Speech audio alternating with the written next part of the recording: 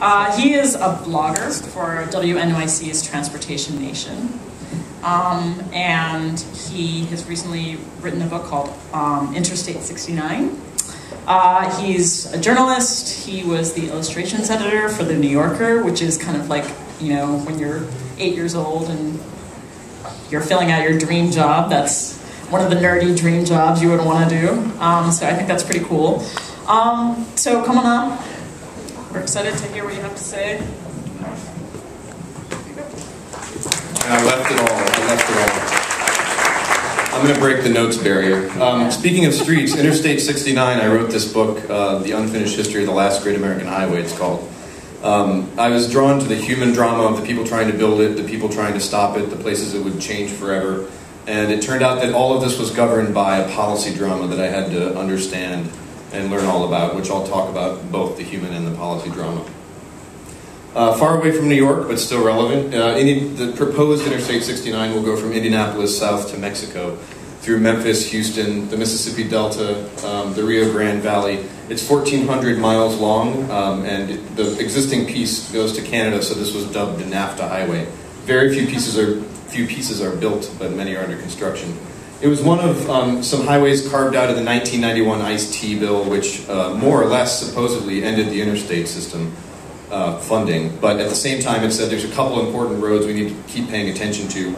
A lot of them were existing highways. I-69 was the biggest of the brand new ones. How do you get a road like that moving? Well, politics. Um, in the mid-90s, the president was from an I-69 state of Arkansas, the vice president was from Tennessee, Tom DeLay was from Texas, and Trent Lott was from Mississippi. Trent Lott famously told the I-69 group, if it doesn't go through Mississippi, it's not going to be built. And here he is cutting a ribbon outside Tunica, Mississippi in 2006. Um, people like the Thomas and Sandra Tokarski here on the left in Indiana have been trying to say for 20 years that this is a waste of money, it's environmentally destructive, the age of the interstates are over, and it's not going to create the jobs that politicians think it might. Um, they've been making this case very politely, they've been filing lawsuits, but they've been writing letters to the editor, trying to work within the system. In the last five years, um, a more kind of anarchist um, civil disobedience element came into play in Bloomington. These are some kids who uh, they vandalized some offices. They chained themselves to uh, equipment and they did tree sits and things like that. This is a torch-lit march through the streets of a college town. In uh, Texas, Rick Perry's Trans-Texas Corridor, maybe you've heard of this, it was a statewide plan to build these ginormous uh, toll interstates that were going to be privately owned, and this caused a great deal of uh, upheaval, the beginnings of the Tea Party, I think, um, in Texas among ranchers and rural folk who thought that this was overreach by government. So who wants Interstate 69? Little towns like Haynesville, Arkansas, where I-69, you can't see it. It's, it's in the middle of that mural. It's so important that it's the center of their town mural, even though it may never be built. Um, these towns have seen manufacturing and agricultural jobs go away. They think this highway is going to bring more of them uh, and save them and a lot of white dudes have been involved in uh, building Interstate 69. The one on the right, uh, David Graham actually single-handedly created it, basically. It was in his kitchen in 1990 that an economist said, you want to build this road through Indiana, it's never going to happen. Make it national, and you'll have a shot. And David Graham drove in his car up and down what became the route of I-69, cold calling chambers of commerce, and he made it happen. This is the groundbreaking in Indiana a couple years ago. Um, because of the anarchists, they had to do it indoors. They brought this dirt from the construction site. There were snipers on the roof, and they, they dug in in the convention center. Um, there's Mitch Daniels, who funded this whole thing by selling the Indiana Toll Road to a Spanish-Australian consortium. It's very strange to see a brand new highway in this day and age. Uh, when I came to this ribbon cutting, it felt like I was transported back to 1956. Um, and of course, there's a huge debate happening right now about whether we need to be building more highways, whether maybe there aren't other things to build. Um, so what do we build? How do we pay for it? How do we decide? There are, you know, biking things to build. Um, this is all obvious to you, you're New Yorkers, but uh, in other places in the country, a thing like a sidewalk or a bike lane is an almost radical notion. And there's a finite amount of money and there's very complicated politics governing how we spend this money. Once upon a time, biking and, and driving got along. This guy, Carl Fisher, raced and sold bikes and cars. He also invented the Indianapolis 500, and he was the uh, father of the Lincoln Highway. His idea for paying for the Lincoln Highway, the first coast-to-coast -coast paved road, was to toll, uh, basically take profits from the uh, car companies. They were going to profit from it. They should share in the building of it.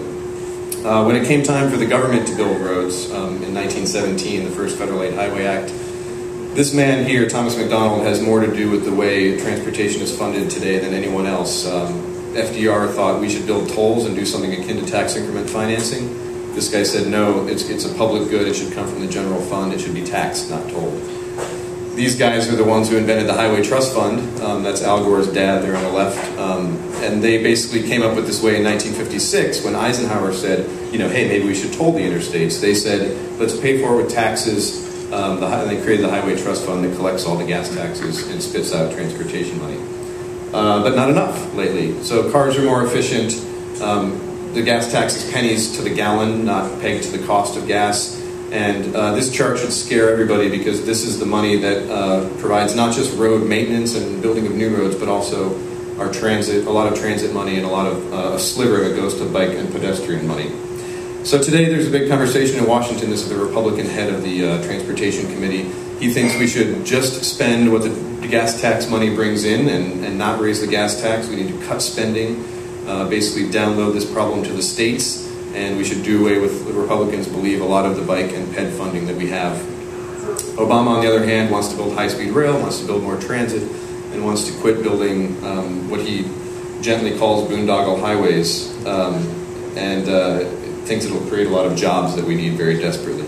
This conversation is, of course, being played out in very small theaters, in, in meeting rooms all across the country, and this is the Metropolitan Planning Organization in Bloomington, Indiana, where I sat and listened to that man from the Indiana Department of Transportation tell the Bloomington MPO that the state would take away their money for their bike and running trail if they didn't build I-69, which they didn't want to do. And so the laws we have about who gets to decide on projects and everything, uh, it, it, plays out in very small places. But I-69 is kind of a, a, front, a big wide front in the war over transportation, uh, and we're at a turning point. So uh, that's six minutes and 40 seconds. You should probably buy the book, Interstate 69, The Unfinished History of the Last Great American Highway.